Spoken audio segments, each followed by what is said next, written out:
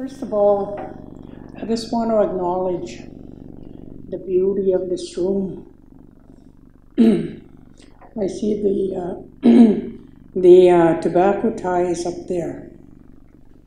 It's very symbolic, and that's all part of our circle. And those colors, white, black, and red, are my spirit colors. And also, I have to acknowledge these other items that are hanging up there. They too have ears and that are listening. And they're making sure, they're making sure that, uh, that uh, they're, they're uh, picking up all the information that's being set up here. But my name is Carol Ann. I'm from Fishing Lake, First Nation in Saskatchewan. And the best way I describe where that is when I'm asked whereabout it is is anywhere between Humboldt and Yorkton. That's where I'm at. I'm uh, one one hour away from from each uh, from each town. And again, I'm very honored to be up here to talk about diabetes. I'm a grandmother. I'm a great grandmother. I have four great grandchildren, all girls. And I have eight grandchildren, four boys, four girls. And I have a set of twins of my own a boy and a girl. And I call them my adult children because they're 46 years old. but I'm always proud to, to mention that when I, when I introduce myself. I'm Saulteaux. I speak my language very fluently, uh, which I never lost. I'm a product of uh, residential school. Both my mom and dad were in residential school. But my dad was only in there for a few days until he ran away and never went back. But my mom was in there from the age of five till she was 16. and when her and dad got married, they had 16 children, very large family.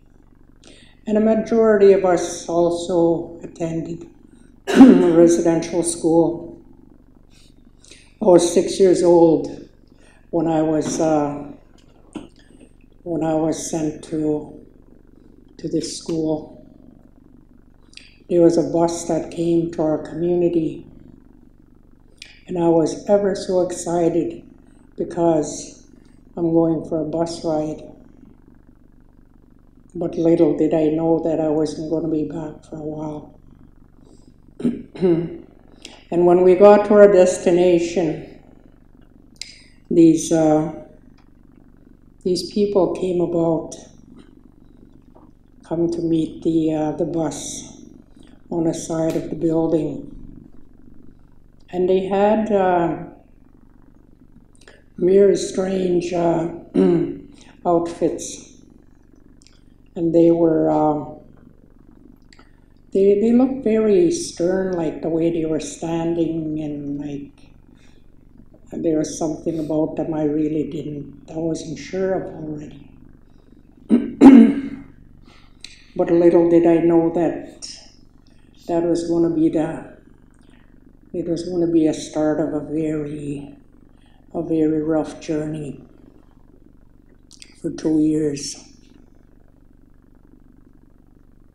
I think the most, the first derogatory thing that I heard that very night as we were being put through the showers and being scrubbed down and they were putting this white powder stuff in our hair. And there was an assembly of sisters sitting. One was applying this white stuff, one was sitting there with the scissors that was ready to to uh, to do the hair cutting. And I didn't know what to make of that. But because my mom spoke very good English, she also taught us that, ling- that, that language. So I understood some of the things that these, these nuns were saying. And the first derogatory thing I heard was, They're such dirty little Indians. Look at that. They're just full of dirt. Full of dirt. And I wasn't right. I knew that wasn't right. So that was only the beginning of that era. Um, I think the third night I was there, I started getting lonely. I wanted to go home. So I started crying.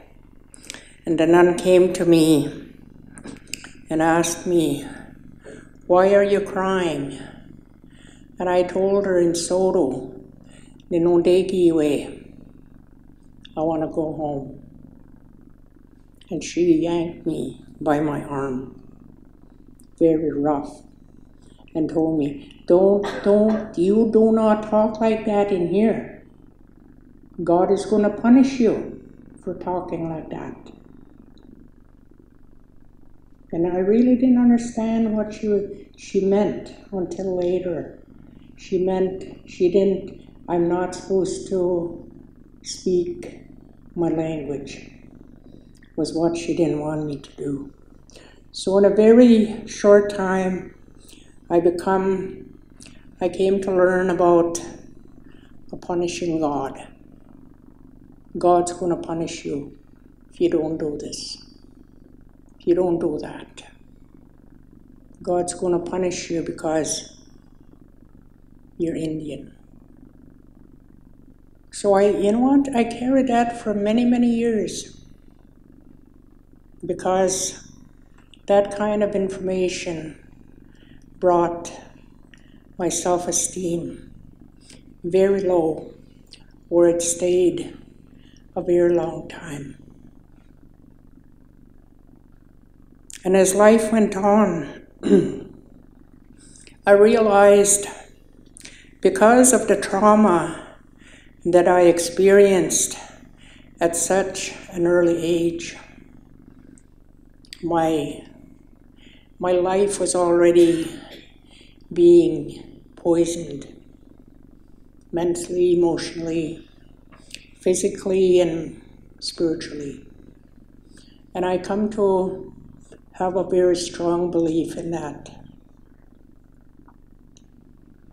Because my dad was very traditional. He had a lot of beliefs that he passed on to a lot of us in a family, talking to us, explaining to us about certain things. and two of the things that he always made sure that he told us to use and be part of our lives is being kind. Minautisik. Kisayuatisik. Be lovable. Be kind to the person next to you. Love the person next to you. Don't go around trying to be better than anybody else. Kego papa mo cake. Kego papa mamihkuan and speak. Don't go around bragging about yourself because you have you don't need to go there. You don't need to do that. I used to hear him telling my older brothers and sisters that when they were going somewhere. And another thing that was very important to him was he spoke to us in Saulteaux all the time. What every little thing he told us was in Saulteaux. Also, another thing that was very important to him for us to know was kinship, how we related to each other, our relatives.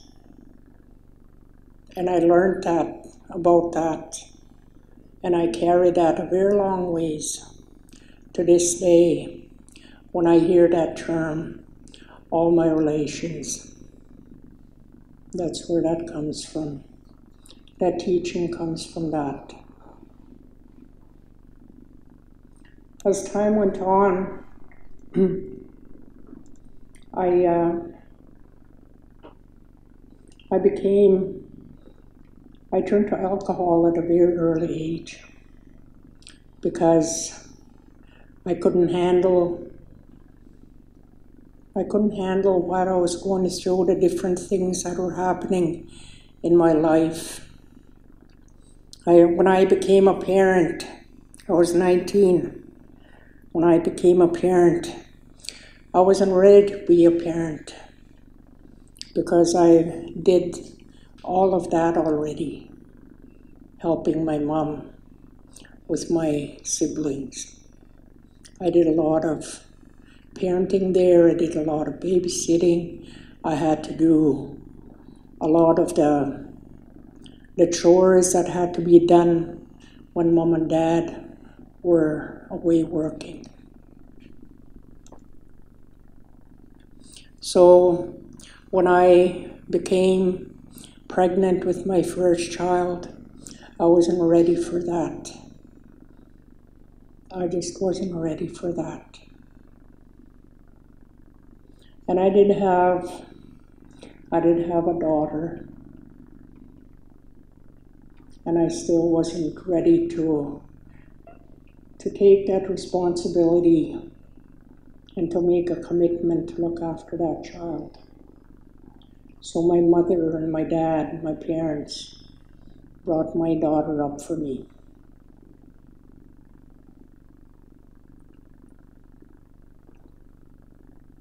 And she left home when she was 19, going on 20. She left mom and dad's. And in between that time, we had some, we used to have some interaction. But she was also, she got into, the, into a, a rebellious stage. And she wanted answers.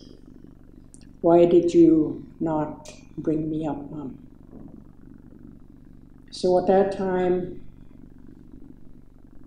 I had to come up with some very, some very good answers.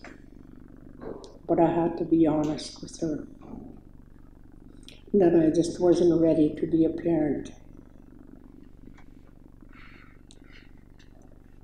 As she got older, she became a parent herself. She had a little girl. She was in a very good relationship. And then her relationship broke down.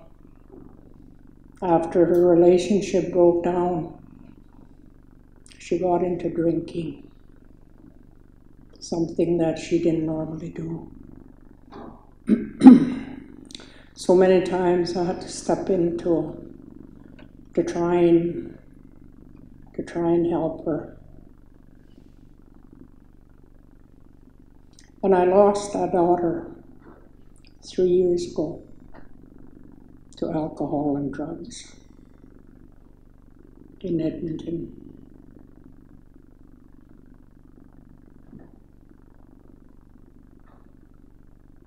And I had to do redemption.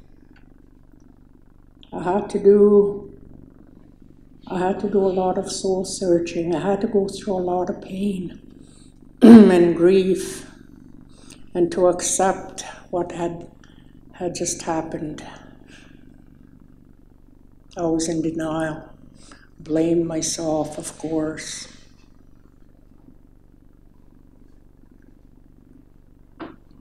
But the good thing about that was about three years before she died, her and I became became very close. We began to visit each other, talk about stuff, and she was a very humorous person. So I always need to mention that and also to remind myself that when we're given children, these are gifts that we're given. And we have to respect and look, look after those gifts. When they're not looked after, those gifts can be taken. And that's the way I understand that concept.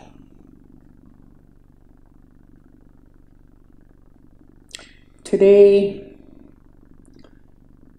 I'm 68 years old. I'm retired. I've done social work for 40 years. I helped a lot of people in my paths. But also, there's always we all have our own destinies. 2015, I got pneumonia and I was hospitalized for seven weeks. I just about, I just about died. I did go somewhere, but was sent back. And when I came out, I was out for about six, seven days. Didn't know what was happening. But when I came to, I, uh, I had been diagnosed with diabetes in 2000, year 2000. In 2004, I had a mild stroke. It didn't affect me in any way. It affected my speech a bit, but I regained that again. In 2005, I had a heart attack and I had an angioplasty done where they put one stent into the artery that was blocking. So when I had pneumonia, as I was sick for those six days, I, uh, my kidneys were failing very fast. So my son had to sign a consent for them to put me on dialysis. And I've been on dialysis since. I go for hemo twice a week for four hours each time. And I, I wouldn't wish that, that upon anybody. It's not, it's not, it's not good. Sometimes I feel good, other times I feel awful. And a lot of these things that I begin to learn about diabetes as time went on what are some of the implications that can happen? And what's going to happen to me? It's a very scary journey.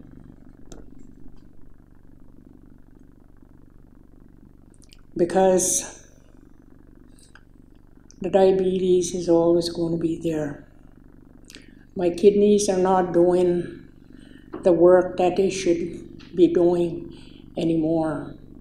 So it's the the hemodialysis that's doing that work now.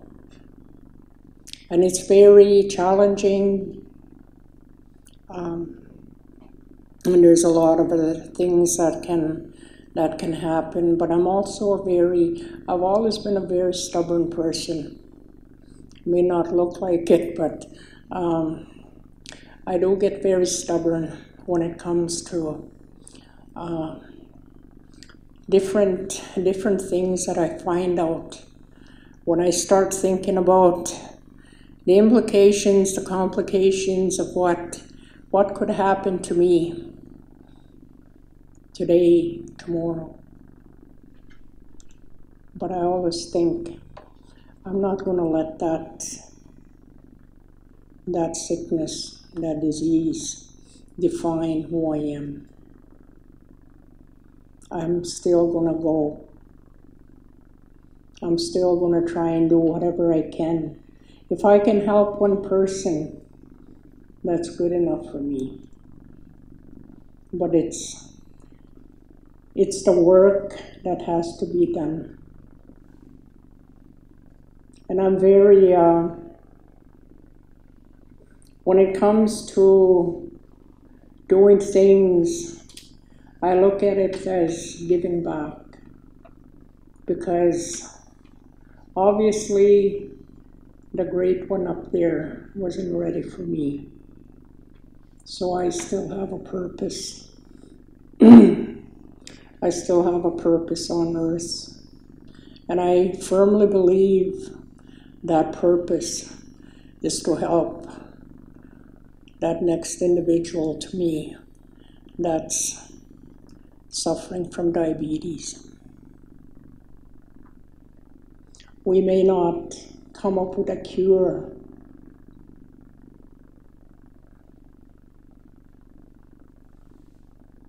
But it can be prevented. With a lot of education, teachings, workshops to educate people, especially our young people. Today, juvenile diabetes is beginning to be very rampant. A lot of our young people are starting to get that. I have a 14 year old granddaughter that's been diagnosed with diabetes and she takes insulin. So when I when I when I won't let this disease de- define me, I can get very stubborn, not to a point where I'm not going to take my medication. I won't go there. I still take my medication as faithfully as I can because I know I have to live two parts of the two parts of the world. My traditional ways and then the western ways. Because with the western way they have the medicines that they that they have that we need to put in our bodies to, to help deal with this disease that's happening. And we also have the traditional medicines that are also just as potent as the Western uh, medicines. So I got to live both worlds as long as I have that understanding of where things are really coming from, from my perspective, I can see a lot of my people dying from diabetes. I see a lot of that happening already today. A lot of people you see with amputations, legs, limbs that have been amputated because of diabetes. And to be proactive and to come together and work as one. We all have a common goal in all our communities to, to serve our people, to help our people, to educate our people, to educate those little ones that are just starting to grow, to start making sure that they that they eat they eat good they eat right. Today it's very difficult to do that. A lot of single single mothers back home have struggled with that and what do they give their little ones a bag of chips and bottle of pop that's lunch. And that is so not good. So I I like sharing my story. I feel if I don't have the answers to everything, then my, my story can help at least one person. That's a lot. And I know there's a lot of diabetics all over the country, especially in our communities. My goal is I'm hoping that we can begin to start dealing with government, to start pursuing the possibility of, and there is such a possibility, to begin to start putting hemodialysis machines in our health centers. Because I know a lot of our communities have beautiful health centers. We have a very beautiful health center.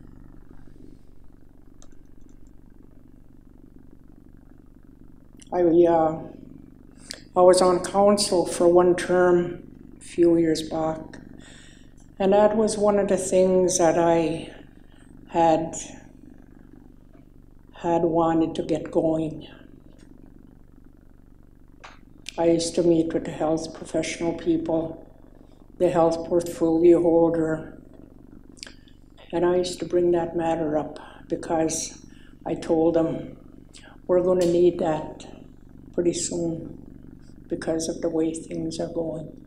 We're going to need hemodialysis machines of our own so that we can, if we want to be self sufficient, that's one place that we can start. Instead of the people having to travel an hour, two hours to go and get dialyzed. Some go three times a week. I go twice a week. But I have a four hour run each time.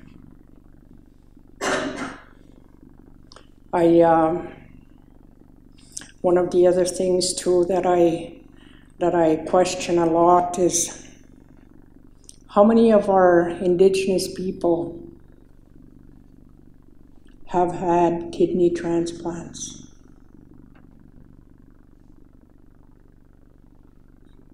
I think the first couple of years that I was on hemo, they put me on the list for a kidney transplant. So they started doing all kinds of tests. Every week they had me going to go and get tests done. And then the very last test I had to do was to go and see a cardiologist. And when I went and seen that cardiologist, he's the one that blew everything away.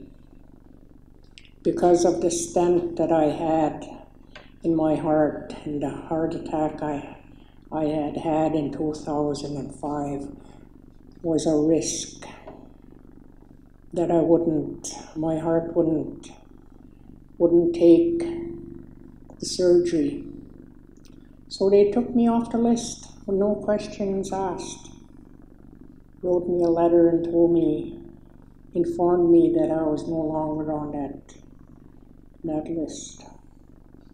But that was okay because I come to believe also that sometimes there's a purpose for everything. If it wasn't meant for me to have that transplant, then it's not going to happen. So that's the way I looked at that.